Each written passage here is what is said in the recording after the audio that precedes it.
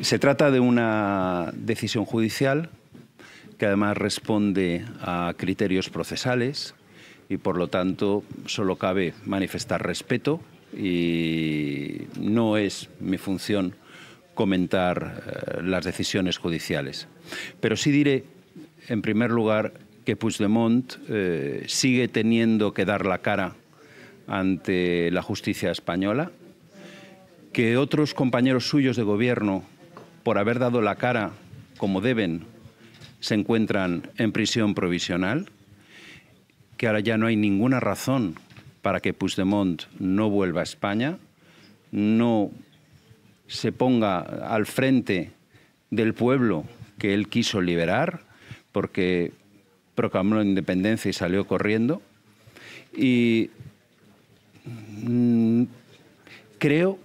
que a partir de este momento ya es muy obvio que Puigdemont está obteniendo una vergonzosa ventaja de que Junqueras, por dar la cara, que es lo que él no ha hecho, se encuentre en prisión preventiva.